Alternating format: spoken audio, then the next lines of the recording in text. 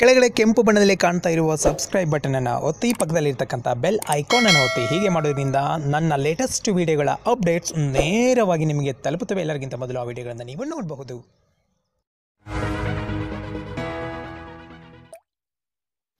ಗಾಂಧೀಜಿಯವರು ಎಷ್ಟನೇ ವಯಸ್ಸಿಗೆ ವಿವಾಹವಾದರು?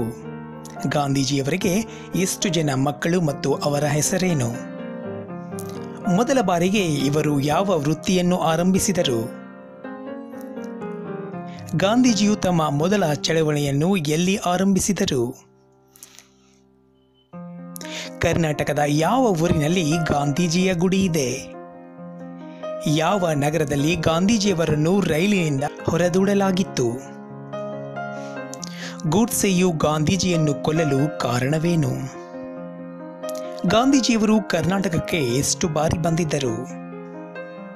ಗಾಂಧೀಜಿಯವರು ಶಿಕ್ಷಣದ ಬಗ್ಗೆ ಏನು ಹೇಳಿದ್ದಾರೆ? ಗಾಂಧೀಜಿಯವರೇ ಪ್ರಾರಂಭಿಸಿದ ಶಾಲೆಯ ಹೆಸರೇನು? ಈ ಎಲ್ಲ ಪ್ರಶ್ನೆಗಳಿಗೆ ಉತ್ತರಗಳಿರುವ ಈ ಆಸಕ್ತಿಕರ ಮಾಹಿತಿಯ ಭಾಷಣವನ್ನು ಪೂರ್ತಿಯಾಗಿ ಕೇಳಿ. ರಘುಪತಿ ರಾಘವ ರಾಜಾರಾಮ್ ಪತಿತ ಪಾವನ ಸೀತಾರಾಮ್ ಈಶ್ವರು ಅಲ್ಲ ತೇರೋ ನಾಮ್ सबको ಸನ್ಮತಿ ಧೇ ಭಗವಾನ್ ಈ ಸಾಲುಗಳನ್ನು ಕೇಳಿದ ಕೂಡಲೇ ನೆನಪಾಗುವ ಹೆಸರು ಗಾಂಧೀಜಿ ಇಂದು ಅಕ್ಟೋಬರ್ ಎರಡು ಈ ದಿನದಂದೇ ನಮ್ಮ ಬಾಪೂಜಿ ಜನಿಸಿದ್ದು ಈ ದಿನ ದೇಶಾದ್ಯಂತ ಆಚರಿಸುವ ರಾಷ್ಟ್ರೀಯ ಹಬ್ಬ ಗಾಂಧಿ ಜಯಂತಿ ಈ ಸಂದರ್ಭದಲ್ಲಾದರೂ ನಾವು ಗಾಂಧೀಜಿಯವರ ಬಗ್ಗೆ ತಿಳಿದುಕೊಳ್ಳಲೇಬೇಕು ಅಕ್ಟೋಬರ್ ಎರಡು ಸಾವಿರದ ಎಂಟುನೂರ ಅರವತ್ತೊಂಬತ್ತರಲ್ಲಿ ಗುಜರಾತ್ನ ಪೋರ್ಬಂದರ್ನಲ್ಲಿ ಈ ಧೀಮಂತ ನಾಯಕನ ಜನನವಾಯಿತು. ತಂದೆ ಕರಮ್ಚಂದ್ ಗಾಂಧಿ, ತಾಯಿ ಪುತಲಿಬಾಯಿ ಇವರ ಪೂರ್ಣ ಹೆಸರು ಮೋಹನ್ ದಾಸ್ ಕರಮ್ಚಂದ್ ಗಾಂಧಿ. ತನ್ನ ಹದಿಮೂರನೇ ವಯಸ್ಸಿನಲ್ಲಿ ಗಾಂಧೀಜಿ ಗಾಂಧೀಜಿಯವರಿಗೆ ಕಸ್ತೂರಿಬಾರವರೊಂದಿಗೆ ವಿವಾಹವಾಯಿತು. ಇವರಿಗೆ ನಾಲ್ಕು ಜನ ಮಕ್ಕಳು. ಹರಿಲಾಲ್ ಗಾಂಧಿ, ಮಣಿಲಾಲ್ ಗಾಂಧಿ, ರಾಮದಾಸ್ ಗಾಂಧಿ ಮತ್ತು ದೇವದಾಸ್ ಗಾಂಧಿ. ತನ್ನ ಹತ್ತೊಂಬತ್ತನೇ ವಯಸ್ಸಿನಲ್ಲಿ ಗಾಂಧೀಜಿ ಲಂಡನ್ನ ಯೂನಿವರ್ಸಿಟಿ ಕಾಲೇಜಿನಿಂದ ಕಾನೂನು ಪದವಿ ಪಡೆದರು. ಮುಂಬಯಿ ನಗರದಲ್ಲಿ ವಕೀಲಿ ವೃತ್ತಿಯನ್ನು ಆರಂಭಿಸಲು ಬಹಳ ಪ್ರಯತ್ನಿಸಿದರು. ಆದರೆ ಹೆಚ್ಚು ಯಶಸ್ಸು ಕಾಣದಿದ್ದರಿಂದ ಎರಡು ವರ್ಷಗಳ ನಂತರ ದಕ್ಷಿಣ ಆಫ್ರಿಕಾಕ್ಕೆ ಕೆಲಸದ ಮೇಲೆ ತೆರಳಿದರು. ಅಲ್ಲಿ ಭಾರತೀಯ ನಿವಾಸಿಗಳ ಸಮಾನ ಹಕ್ಕುಗಳನ್ನು ನೀಡದ ವರ್ಣಭೇದ ನೀತಿಯನ್ನು ಅಳಿಸಲು ಚಳುವಳಿಯನ್ನು ಪ್ರಾರಂಭಿಸಿದರು. ಅಲ್ಲಿನ ಪೀಟರ್ ಮ್ಯಾರಿಟ್ಸ್ ಬರ್ಗ್ ಎಂಬ ನಗರದಲ್ಲಿ ರೈಲಿನಲ್ಲಿ ಮೊದಲ ದರ್ಜೆ ಟಿಕೆಟ್ ತೆಗೆದುಕೊಂಡಿದ್ದರು.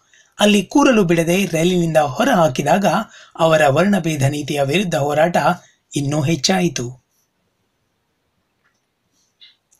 ಗಾಂಧೀಜಿಯವರು ಭಾರತಕ್ಕೆ ಮರಳಿ ಬಂದು ಬ್ರಿಟಿಷರ ವಿರುದ್ಧ ಹೋರಾಟ ಆರಂಭಿಸಿದರು. ಸಾವಿರದ ಒಂಬೈನೂರ ಇಪ್ಪತ್ತರ ಅಸಹಕಾರ ಚಳುವಳಿ, ಸಾವಿರದ ಒಂಬೈನೂರ ಮೂವತ್ತರ ಒಪ್ಪಿನ ಸತ್ಯಾಗ್ರಹ, ಸಾವಿರದ ಒಂಬೈನೂರ ನಲವತ್ತೆರಡರ ಬ್ರಿಟಿಷರೇ ಭಾರತ ಬಿಟ್ಟು ತೊಲಗಿ. ದಂಡಿ ಯಾತ್ರೆ ಹಲವಾರು ಉಪವಾಸ ಸತ್ಯಾಗ್ರಹಗಳು, ಸೆರೆಮನೆ ವಾಸಗಳ ನಂತರ ಭಾರತಕ್ಕೆ ಸ್ವಾತಂತ್ರ್ಯ ತರುವಲ್ಲಿ ಗಾಂಧೀಜಿ ಮಹತ್ವದ ಪಾತ್ರ ವಹಿಸಿದರು. ಗಾಂಧೀಜಿ ಓರ್ವ ಉತ್ತಮ ವಾಗ್ಮಿ, ಬರಹಗಾರರೂ ಆಗಿದ್ದರು. ದಕ್ಷಿಣ ಆಫ್ರಿಕಾದಲ್ಲಿದ್ದಾಗ ಇಂಡಿಯನ್ ಒಪಿನಿಯನ್ ಪತ್ರಿಕೆ ಭಾರತಕ್ಕೆ ಮರಳಿದ ನಂತರ ಗುಜರಾತಿ, ಹಿಂದಿ ಮತ್ತು ಆಂಗ್ಲ ಭಾಷೆಗಳಲ್ಲಿ ಹರಿಜನ್ ಪತ್ರಿಕೆ ಆಂಗ್ಲ ಭಾಷೆಯಲ್ಲಿ ಯಂಗ್ ಇಂಡಿಯಾ ಪತ್ರಿಕೆ ಮತ್ತು ನವಜೀವನ್ ಎಂಬ ಗುಜರಾತಿ ಮಾಸಪತ್ರಿಕೆಯೂ ಸೇರಿದಂತೆ ಹಲವಾರು ವೃತ್ತ ಪತ್ರಿಕೆಗಳಿಗೆ ಸಂಪಾದಕರಾಗಿದ್ದರು.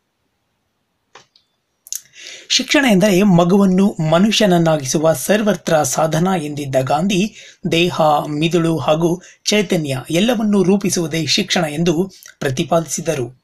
ಗುಜರಾತ್ ವಿದ್ಯಾಪೀಠದ ಘೋಷವಾಕ್ಯ ಯಾ ವಿಮುಕ್ತೆ ಎನ್ನುವ ಸಾಲಿನಲ್ಲಿ ಗಾಂಧೀಜಿ ಬಲವಾದ ನಂಬಿಕೆ ಇರಿಸಿದರು ಹೀಗಾಗಿ ಪ್ರಾಥಮಿಕ ಶಿಕ್ಷಣವು ಉಚಿತವಾಗಿಯೂ ಹಾಗೂ ಕಡ್ಡಾಯವಾಗಿಯೂ ಇರಬೇಕೆಂದಿದ್ದರು. ಅಹಿಂಸೆಯು ಶಿಕ್ಷಣದ ತಳಹದಿಯಾಗಬೇಕು, ಶಿಕ್ಷಣವು ವ್ಯಕ್ತಿಯ ಚಾರಿತ್ರ್ಯವನ್ನು ರೂಪಿಸಬೇಕು ಎಂದು ಹೇಳಿದರು ಸಾವಿರದ ಒಂಬೈನೂರ ಮೂವತ್ತೈದರಲ್ಲಿ ಮಹಾತ್ಮ ಗಾಂಧೀಜಿಯವರು ಸಾಬರಮತಿ ಎಂಬ ಸ್ಥಳದಲ್ಲಿ ತಮ್ಮದೇ ಆದ ಶೈಕ್ಷಣಿಕ ತತ್ವಗಳನ್ನು ಅನುಷ್ಠಾನಕ್ಕೆ ತರಲು ಮೂಲ ಶಿಕ್ಷಣ ಶಾಲೆಯನ್ನು ಪ್ರಾರಂಭಿಸಿದರು.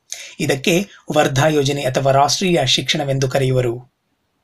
ನಿಮಗಿದು ಗೊತ್ತೇ, ಗಾಂಧೀಜಿಯವರು ನಮ್ಮ ಕರ್ನಾಟಕಕ್ಕೆ ಹದಿನೆಂಟು ಬಾರಿ ಬಂದಿದ್ದರು.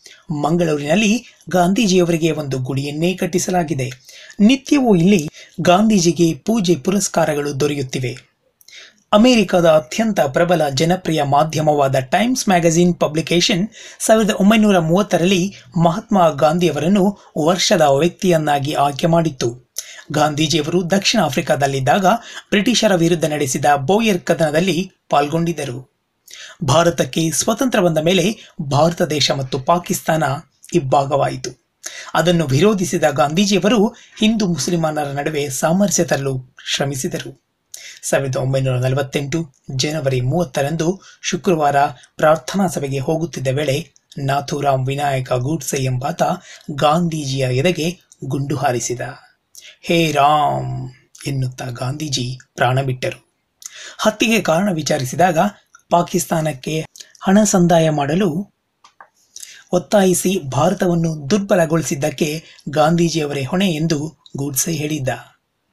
ಗಾಂಧೀಜಿ ಒಬ್ಬ ವ್ಯಕ್ತಿಯಾಗಿರದೆ ಒಂದು ಮಹಾನ್ ಶಕ್ತಿಯಾಗಿದ್ದರು. ಭಾರತಕ್ಕೆ ಸ್ವಾತಂತ್ರ್ಯ ತರಲು ಹಾಗೂ ರಾಮರಾಜ್ಯ ಸ್ಥಾಪಿಸಲು ತಮ್ಮ ತನು ಮನ ಧನಗಳನ್ನು ಅರ್ಪಿಸಿದರು. ಗಾಂಧೀಜಿಯ ಅಂತ್ಯ ಸಂಸ್ಕಾರ ದೆಹಲಿಯ ಮಹಾರಾಜ ಘಾಟ್ನಲ್ಲಿ ನಡೆಯಿತು. Cuttack state bank of India ಲಾಕರ್ನಲ್ಲಿ ಅವರ ಚಿತಾಭಸ್ಮ ಇರಿಸಲಾಯಿತು. ನಂತರ ಅಲಹಾಬಾದ್ನ ತ್ರಿವೇಣಿ ಸಂಗಮದಲ್ಲಿ ಚಿತಾಭಸ್ಮವನ್ನು ವಿಸರ್ಜಿಸಲಾಯಿತು. ಮೈ ಎಕ್ಸ್ಪೆರಿಮೆಂಟ್ ವಿತ್ ಟ್ರೂತ್ ಇದು ಗಾಂಧೀಜಿಯವರು ತಾವೇ ಬರೆದ ತಮ್ಮ ಆತ್ಮಕತೆ ಅಹಿಂಸೆ ಮತ್ತು ಸತ್ಯದ ಹಾದಿಯಲ್ಲಿ ನಡೆದು ತೋರಿಸಿದ ಬಾಪೂಜಿಯವರ ಹೆಜ್ಜೆಗಳನ್ನು ನಾವು ಅನುಸರಿಸೋಣ. ಮತ್ತೊಮ್ಮೆ ನಿಮ್ಮೆಲ್ಲರಿಗೂ ಗಾಂಧಿ ಜಯಂತಿಯ ಶುಭಾಶಯಗಳು. ಜೈ ಹಿಂದ್.